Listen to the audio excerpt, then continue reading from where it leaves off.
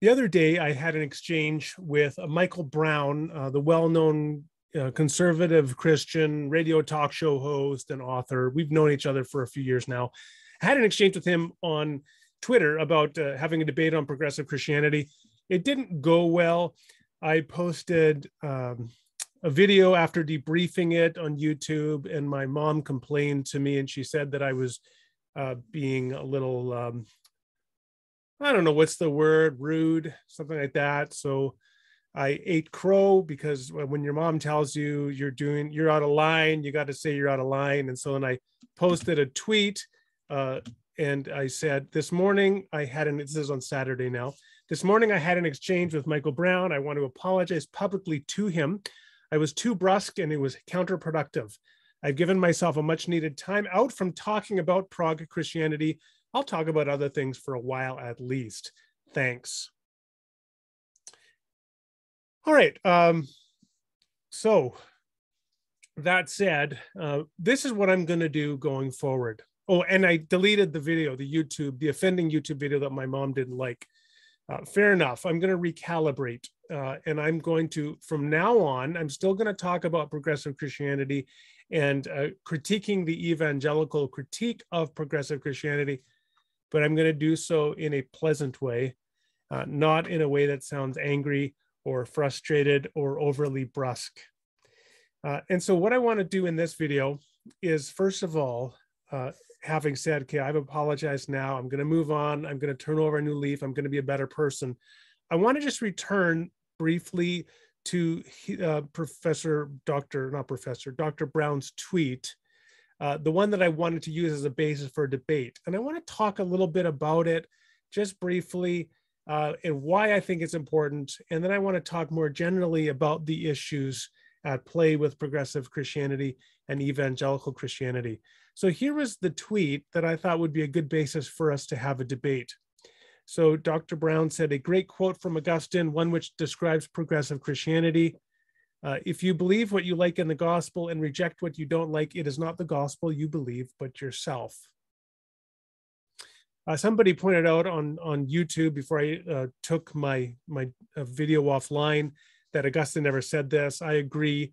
Uh, I, I when I saw this, I said that doesn't sound like Augustine. So I did a literature search, and I could not find this in any of Augustine's readings uh, writings, but I did find it referenced in multiple books attributed to Augustine.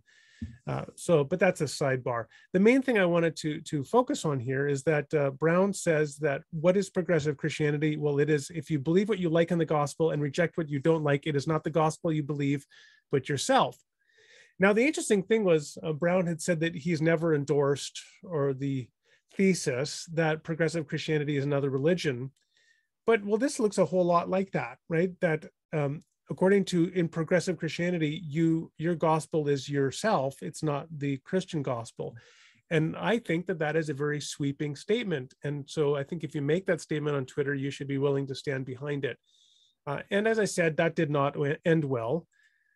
So uh, there we are. Um, um, here's here's then just to summarize where we're at then. Um, uh, my exchange with Michael Brown was the latest of a series of attempts that I've been making since late April when Progressive Christians Love Jesus too. Uh, a series of attempts I've been making to have either a dialogue or a formal debate with a person. Um, and by person, I mean either a professional apologist or a well recognized Christian apologist or Christian leader or theologian, somebody of note uh, who is promoting actively the Childers thesis that progressive Christianity is another religion, or that it's uh, heresy, or that it's New Age. That's another claim that some people have made. And so I've asked multiple people. I, of course, tried with Childers herself, didn't get a response. Tried with Lee Strobel and Sean McDowell. Uh, Strobel didn't reply to my tweets, neither did Frank Turek. Um, Sean McDowell, to his credit, replied but declined uh, a debate. Uh, Mike Winger, uh, to his credit, uh, replied, but he declined to have a dialogue with me. Um, and then other places like Mama Bear Apologetics and either Red Pen or something like that, another fellow online. No, nobody's replied to me. A few people have, have declined to have any an interaction, but the rest have just outright uh, just just not replied at all. Now, admittedly, I don't know in every case that they've actually seen my tweet or inquiry or whatever. It's always possible that they missed it. Suffice it to say, however, I've been at this for three, four months now and trying to get a single person willing to stand behind the thesis that progressive Christianity is another religion or that it's dangerous, heretical, new age, something like that. And I've been able to find nobody, zero, goose egg. Nobody is willing to defend the thesis. The thing is that these many of these same individuals are actively promoting the thesis on their various social media platforms and being interviewed by other friendly evangelicals. So I'm repeatedly hearing the thesis that progressive Christianity is another religion, that it is heretical, that it's dangerous, that it's a disease. I mean, Mike Winger on, on his one presentation, he begins by comparing progressive Christianity to a disease. It's a very common descriptor that I've been encountering. Uh, and so on, that, that it's again dangerous and new age and so on. But nobody's willing to defend that formally it's interesting. It's an interesting situation. And note that I'm not getting frustrated and angry here. I'm just very cool and calm and collected and uh, approachable and affable and likable and ironic and uh, all the good things. Uh, but nonetheless, I am pro- pointing out the problem here uh, that there are so many people who are conservative evangelicals who say that they really care about truth and that they need to stand for truth and defend truth and one of the things that they repeatedly are saying is that progressive Christianity is all these things. And yet, when asked to defend the claim that progressive Christianity is all these things, I'm either getting no, I'm not going to defend that claim, or I'm getting pushback or just no response at all. And I think that this is a serious problem. Still very calm as I point that out. And I'm, I'm not angry or frustrated. I am disappointed. And I'm disappointed because of how absolutely harmful that this is. You know, one of the things, I mean, it's just wrong generally to spread falsehoods about groups of people, right? It's wrong. If you go around saying that um, refugees are dirty and they have scabies and they're dangerous or they have leprosy or they, you know, they steal, they steal at higher rates and commit crimes at higher rates, than than people who are not refugees than citizens if you keep making those claims and people ask you understandably you have to defend that claim that you're making um, you shouldn't get angry and you shouldn't be defensive. What you should do is if you care about truth either defend that claim with some evidence or you should withdraw the claim and apologize issue a retraction and stop uh, spreading falsehoods about refugees. And if you keep spreading falsehoods about progressive Christians, then when people challenge you to defend your view that progressive Christianity is another religion, or that it's heresy, or uh, that it is new age or a disease, when people challenge you on that, again, you either have you're obliged to defend your claim or withdraw it and issue a retraction and at that point, not only I think do you issue a retraction, but you try to fix the damage that you've done. Now, what is some of the damage that you do? Well, I, I noted on a tweet the other day that I've seen a real spike and a growth in the last year or so. I think broadly correlated with the release of Alisa Childers' book, Another Gospel, and its popularization. I've seen a spike in randos and random people on the internet uh, commenting to me that I'm not a Christian, uh, and that or that I'm a false Christian or a fake Christian or I'm nefarious and all these duplicitous and I'm aligned with Satan and all these things. I mean, I've always heard that stuff, but I've seen a noted uh, increase in it, and and I think it's not unreasonable to think that there is a relationship between people who are actively, continually spreading misinformation about progressive Christians as a group saying these things about them as a group, aligning them with a disease, with malicious intent, uh, with Satan, uh, with another religion, with with deception and malevolence and all these terrible things. If you keep maligning those people, well, then your followers who are eating that up, which essentially is like throwing red meat out uh, and galvanizing your base, they're going to now begin to use those very talking points against these people that identify as progressive Christians. And that's exactly what I'm seeing. Do I have to say that that's harmful? Does that, do I have to point out how frankly cancerous it is to spread falsehoods about other groups of people? That is cancer. It's cancer in the body of Christ uh, when you are spreading falsehoods. Now, you can always point out, oh, oh, but here's a person who identifies as a progressive Christian, and hey, they have a heretical belief. And I will say, great, I'm glad you pointed that out. Let's talk about that.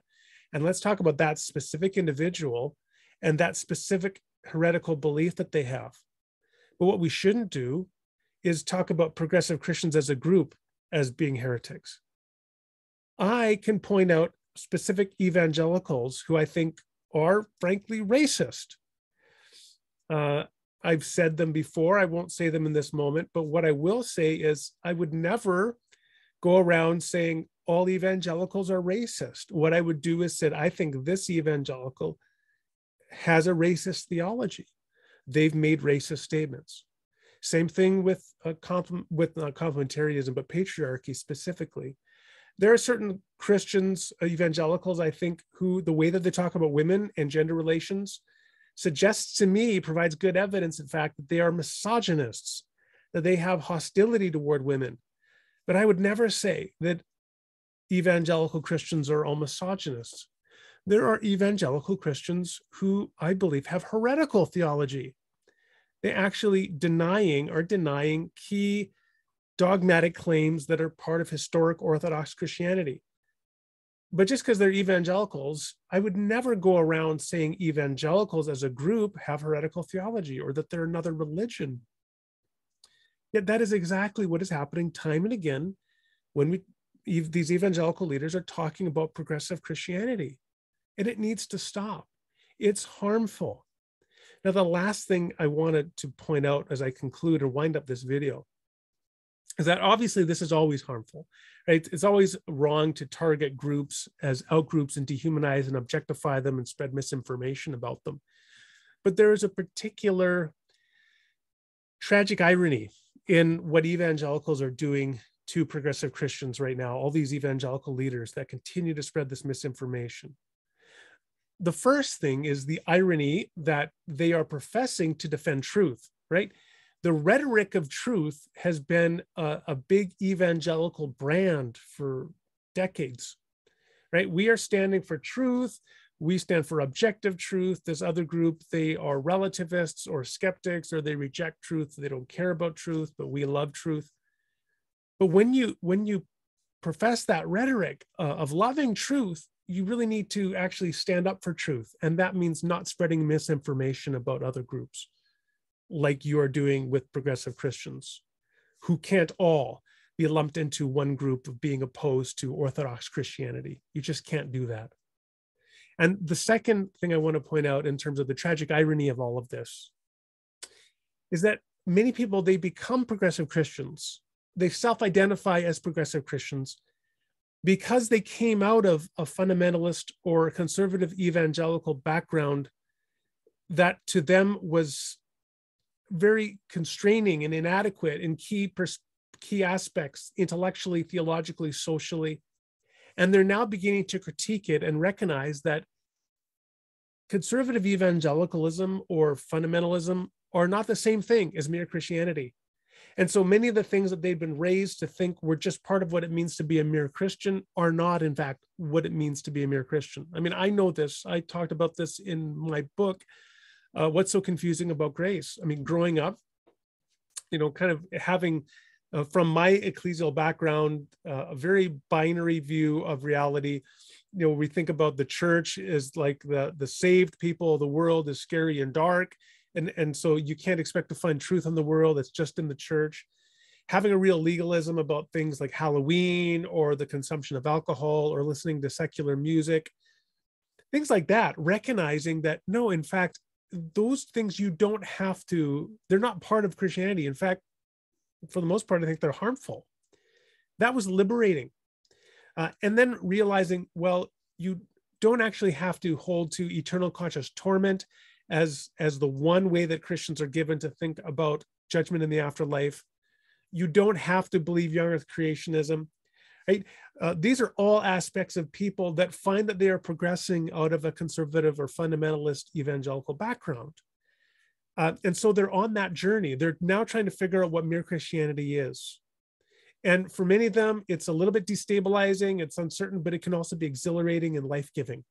And at the very moment where they're on that journey, and I think they're coming close in key respects to recognizing some of the inadequacies and the weaknesses and the dangers and the legalism of their theological upbringing in a conservative, fundamentalist, evangelical background. At that very moment, they now are hearing from many of these same people from the background that they left, are now accusing them of having completely apostatized of being heretics, of having rejected the gospel, of having started or joined another religion, of being maliciously opposed to the kingdom of God. And those people are getting their categories and their language from people like Alisa Childers and Sean McDowell and uh, Mike Winger and all these other people that are promoting this misinformation about progressive Christianity.